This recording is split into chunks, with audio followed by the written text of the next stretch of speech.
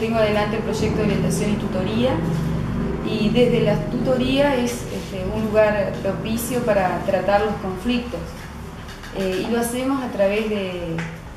la mediación que hemos sido este, capacitados en el programa Enredarse. Eh, en general los conflictos en este colegio no son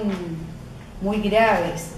eh, sí pequeñas disrupciones o peleas este, por celo entre los chicos o también conflictos intergrupales.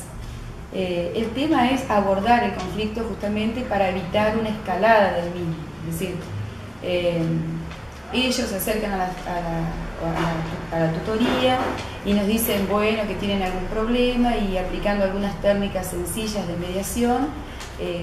ellos realizan las propuestas para solucionar el tema y realmente los resultados han sido extraordinarios. Como dijo Mirta, los conflictos no, representan un gran problema, como mucho alguna discusión entre nosotros, sobre todo por ahí en sexto, con algunas cosas de organización. Y, más que eso, no creo que no hay otro problema, digamos, que, que resolver. Estamos en un proyecto de educación vial, como contaba antes Mirta, eh, en lo que participamos como grupo para cuidar la entrada de los chicos y como grupos también, como esos mismos grupos, organizamos clases para darlo a los primeros tres cursos. Todo lo que trabajamos siempre es tratar de tener un clima cordial y para esto trabajamos siempre de lo positivo, siempre rescatar lo positivo para ir mejorando si hay algunas cosas que mejorar. Eh, los conflictos eh, dentro de la institución no son conflictos graves, sino son algunos cambios de ideas o celos o poner a punto muchas veces los cursos cuando vienen de dos divisiones y, queda una sola. Siempre se trabaja respetando tanto a, los, estudiantes como a todos los actores del establecimiento, pero focalizando siempre en lo positivo de los chicos.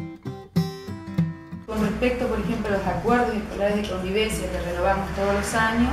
este año se hizo una asamblea donde participaron, este, trabajaron, digamos, los alumnos por un lado, sobre unas preguntas y una, este,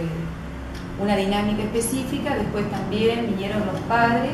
y participaron en talleres, de los cuales tenemos registros videos y demás, eh, diciendo qué cosas ellos pretendían que, eh, digamos, qué valores pretendían en realidad que nosotros este, fortalezcamos el instituto y qué cosas ellos eh, pretendían que quedaran fuera del ámbito educativo o que,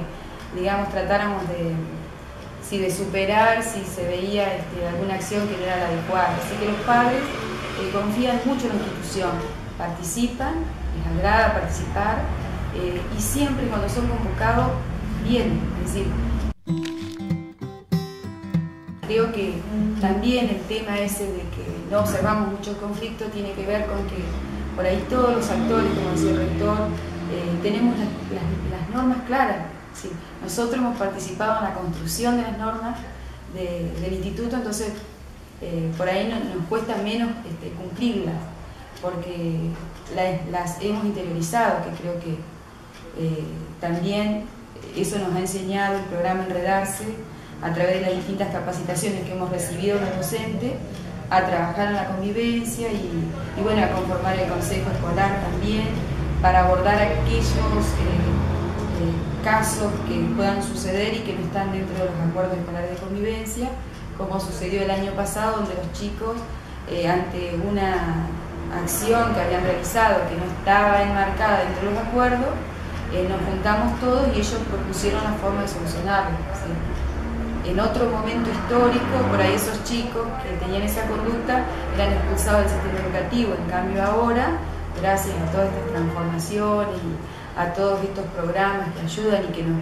capacitan para trabajar en esto, eh,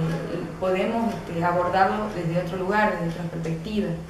Entonces ellos toman consciente de lo realizado, eh, proponen una forma de solucionarlo, lo solucionan y el resto también aprende de eso.